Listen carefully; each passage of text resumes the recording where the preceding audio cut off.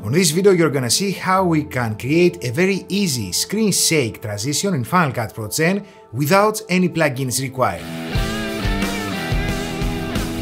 In the beginning of this video you saw this little guy here, this is the Screen Bar Plus monitor LED light from BenQ. Thank you so much BenQ for sending me this light. It's a LED light that you can use to rest your eyes when you're spending lot of hours into a monitor or the computer. Also, it has temperature control adjustment and oh, it's a dimmable, so you can change how bright the light is.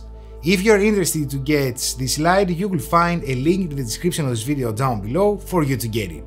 Let's go now into Final Cut Pro 10 and see how we can create the screen shake transitions. We are in the Final Cut Pro 10 interface and we have these clips that we will create the custom screen shake transition that you saw in the beginning.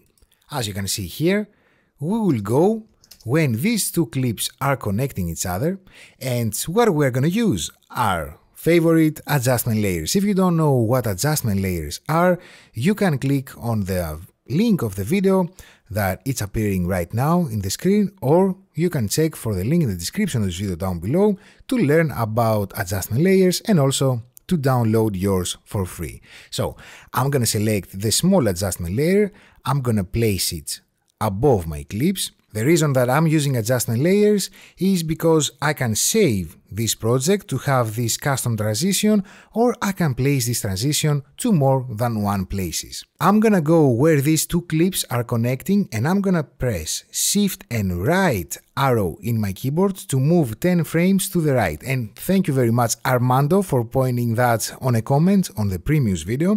I'm gonna press B in my keyboard, I'm gonna blade the layer here and then I'm gonna go again when the clips are connecting and I'm gonna press shift and left arrow in my keyboard to go 10 frames to the left. Again, same process, I'm blading and I'm deleting. Now I'm gonna go into the effects panel and I'm gonna search for handheld.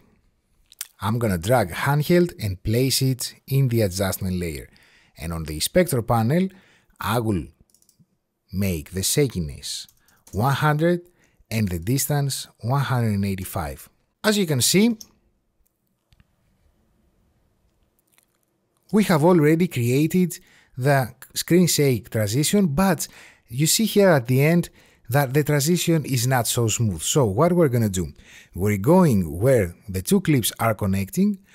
I'm gonna go one frame to the right, and I'm gonna go here on the inspector panel on the distance and I'm gonna add a keyframe.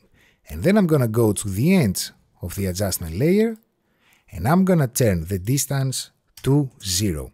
So you will see now that the distance has more smooth into zero and let's play to see. We see that the zoom out of the shakiness is more smooth. If we want to make it a little bit more spicy, we can search for the prism effect and we can add the prism effect as well and the result is going to look like this. Or of course, work with our favorite Bad TV and drag this as well and the result is going to look like this. As you can see, 10 frames are very good for the transition, but if you want your transition to be quicker, you can change the 10 frames to 5 frames. So let's count 5 frames now. 1, 2, 3, 4, 5. And again, 1, 2, 3, 4, 5 to the left. And you will see that the transition is even quicker 5 frames was the transition that you saw in the beginning.